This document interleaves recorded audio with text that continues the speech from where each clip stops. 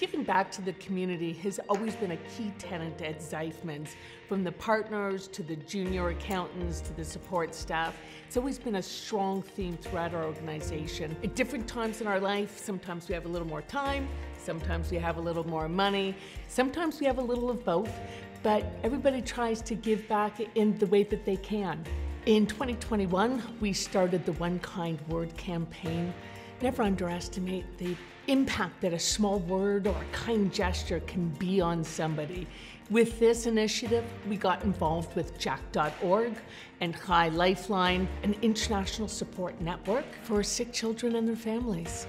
I'm Natalie and she is my mother, right? Rachel Zalanka, yeah, that, that would be me, yeah. And I'm 10 and she's whoever knows. 29, 29. Are you sure?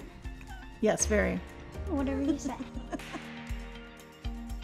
Naftali over here has gotten us involved in Chai Lifeline in the last couple years because he's developed some medical issues of his own. Called EOE, which basically is so inflammation of the esophagus. Chai Lifeline is an organization that helps families nationwide that are dealing with pediatric illness. Every time he goes in for these scopes and these checkups, they're always there for us. Like my first call after my husband is Chai Lifeline. so it just really makes a bad situation a little bit better. What does one kind word to you mean? Support. I would say community.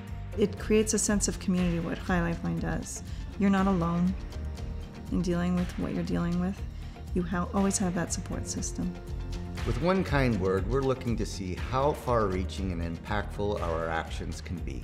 To that end, Zeifman's is excited to support Jack.org, an organization that helps youth take control of their mental health. With that, let me introduce Eric, the founder of Jack.org. So, a little bit about what we do. First of all, I can summarize it by saying we train and empower young people to help contribute to the mental health space and really revolutionize how their uh, demographic is really talking about mental health.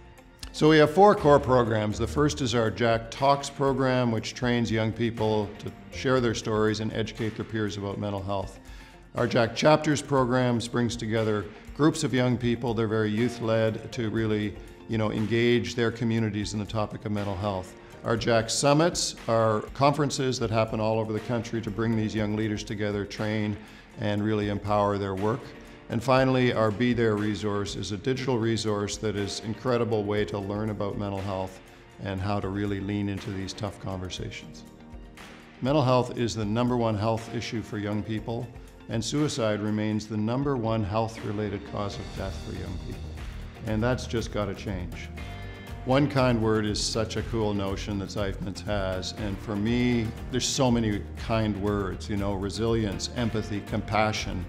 For me, it's two words, but be there, jammed together to one word is so important that you learn how to be there for yourself and your peers and learn how to have these conversations about mental health, which are so important. We're often unaware of the struggles that people have in their daily lives. The power of one kind word is unknown. It's a simple and free gift to mention a kind word to someone, and the impact can be brightening someone's day. It can be the moment where a connection is made. I participated in Jack Ride with Jack.org this year. COVID meant that we were not one large organized group, but rather we rode on our own. The moment we saw another rider with a Jack.org jersey, we shouted Jack to one another and a connection was made with that one simple word. I have young family members that struggle with mental health, and I support jack.org because they advocate, empower, and train youth to help break the stigma and silence regarding mental health.